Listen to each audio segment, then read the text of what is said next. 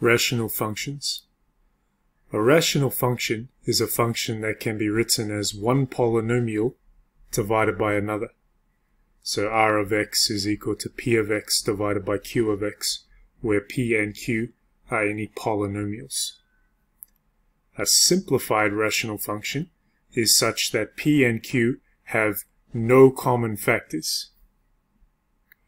Now when we're talking about polynomials, for polynomials to have no common factors, a factor is another polynomial. So there can't be there can't be polynomials uh, s of x, r of x, and t of x such that p of x is equal to s of x times r of x and q of x is equal to s of x times t of x. Because then when we take the rational function I just realized they use r of x over here never mind. If we take the rational function w of x equals p of x divided by q of x then that would be s of x times r of x divided by s of x times t of x and then that means we can simplify it. So if s of x is the only common factor of p of x and q of x, it is now in simplified form if we write it like this. So just like uh, with fractions. So that's a simplified rational function. They have no common factors. And that's the definition of factors when we're talking about polynomials. Right, so two examples. r1 of x equals x divided by, uh, sorry, x plus 2 divided by x minus 3. And r2 of x is equal to x squared minus 2x plus 1 divided by x plus 4. These are both simplified rational functions, and you can check using polynomial division that uh, we don't have this situation over here. Now I've asked what is the difference between the graphs of these two functions. So you can pause the video and uh, have a go at sketching the graphs if you like. So we're going to take a look at the two graphs. Alright, so this is the graph of y equals x plus 2 divided by x minus 3. So this red, red color is that graph there.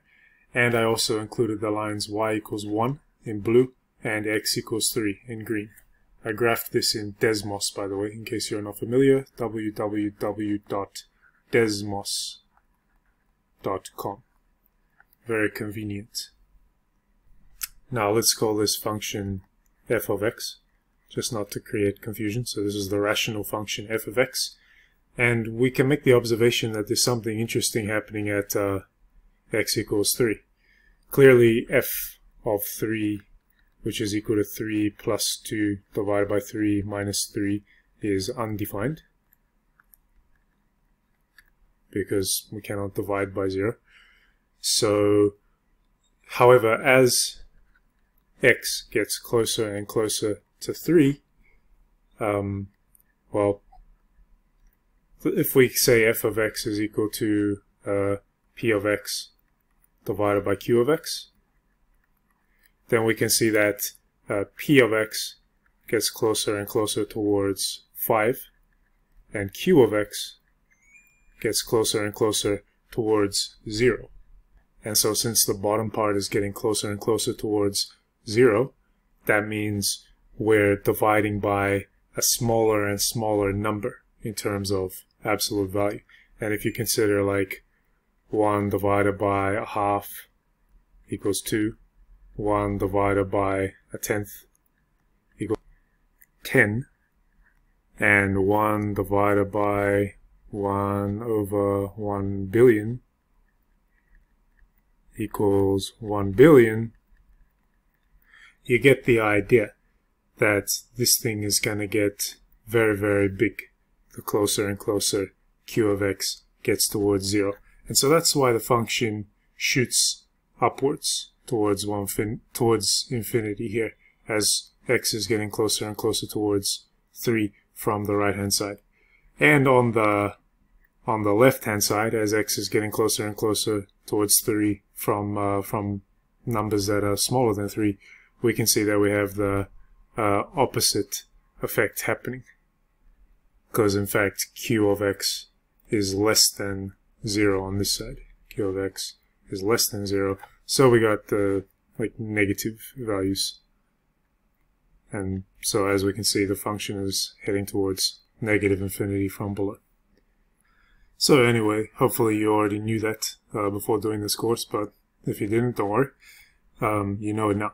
So this is called a vertical asymptote. Vertical asymptote. The word vertical obviously means up and down. So like this, hence the name vertical asymptote.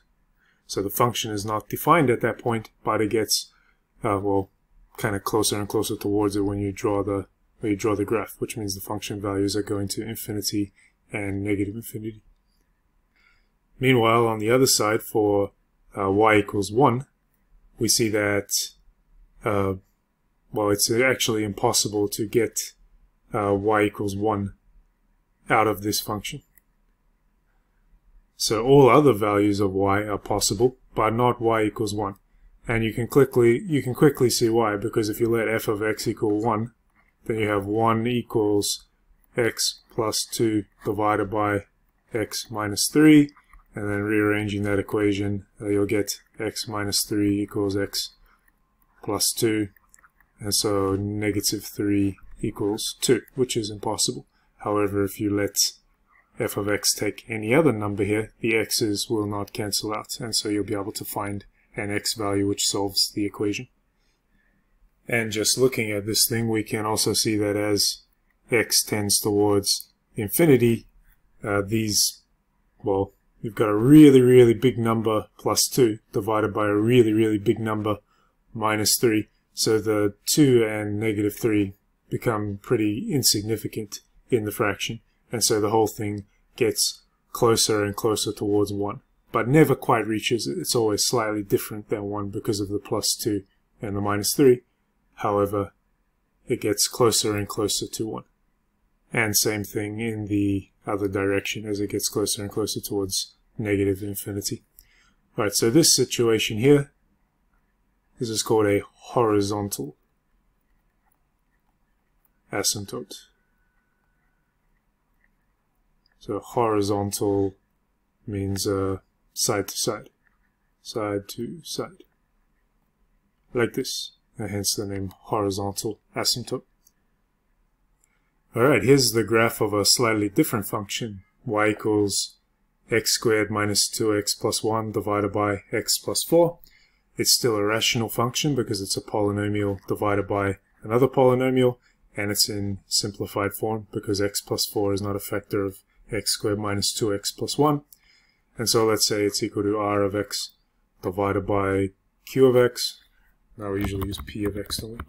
p of x divided by q of x, where p of x and q of x are polynomials. Alright, and we see that we have another vertical asymptote because as x tends towards negative 4, we have p of x goes towards, uh, what is it, 16 plus 8 plus 1, so 25, and q of x goes towards 0. So that results in this vertical asymptote by the same kind of reasoning as before. Now, on the other hand, we also have this asymptote here, which is neither horizontal nor vertical. And we call this one an oblique asymptote. So here oblique means not horizontal or vertical. And now I suggest you pause the video and see if you can figure out where this line y equals x minus 6 came from why why does it why does the function get closer and closer towards uh, x minus 6 as x goes in the infinity or negative infinity directions. Okay, and the answer is actually just polynomial division. If we go ahead and do this division, x squared minus 2x plus 1, if we divide it by x plus 4, then, uh, well, x then x squared plus 4x, do a subtraction, so that would be minus 6x plus 1, and so we uh, go ahead and multiply by minus 6. There's the x minus 6 part, and so we get minus 6x um, minus, uh, 24. And then we get uh, 25 as our remainder. Alright, so in particular, that means we can rewrite this function as uh, x minus 6 plus 25 divided by x plus 4. And then clearly as x tends towards plus or minus infinity, 25 divided by x plus 4 tends towards 0. So we get closer and closer towards our oblique asymptote x minus 6, which is what the function clearly does here, as x goes in the positive or negative infinity directions. Okay, so just to recap, asymptotes, an asymptote is a straight line that the curve approaches or tends towards. Asymptotes can be horizontal, vertical, or oblique. Horizontal asymptotes are parallel to the x-axis. Vertical asymptotes are parallel to the y-axis. And oblique asymptotes are neither horizontal nor vertical.